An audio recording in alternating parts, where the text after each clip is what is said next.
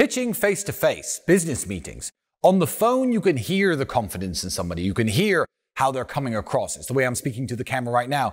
I'm not speaking to the camera like, you know, when you're pitching people. They can hear it on the phone, but in person, they can feel it. Nice, firm handshake. Sitting like this, trying to explain your ideas. Being animated with your hands when you're pitching your ideas. Being excited in your, in your voice when you're pitching your ideas. If I were to sit here and say, like, yeah, you know, when you're pitching people in person, what you need to do is be uh, excitable and you know make sure that you're coming across right. It's not the same. It's not the same. You have to have the energy. You have to have the fire. You certainly don't have to seem like it's the most important thing in the world, like you care more than anything else in the world, but you need to seem like you care more than them. That's the key. If this business has a problem and I can fix it, I care about this man's business visibly more than he does during that meeting. That's the only thing that's going to get a man excited. There are very few types of sales where a salesman could sit back and be like, well, you know, here's the price, here's the best I could do, do you want it or not? And I've been sold those things in some ways. I went into the Rolls Royce showroom in London, and the guy's name, I believe, was Warren or Stephen. It may have been Stephen, actually, the guy who sold me the Rolls Royce.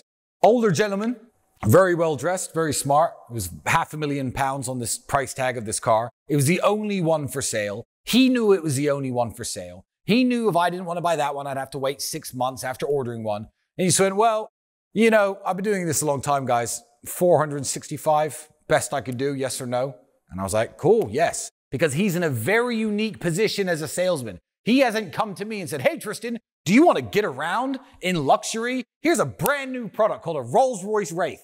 That didn't happen. I saw the car, I fell in love with it. I walked into his showroom as hundreds of time wasters do every day. He's busy. He doesn't care. There's one for sale and he made the close. But that is a very exceptionally difficult type of sales to get into.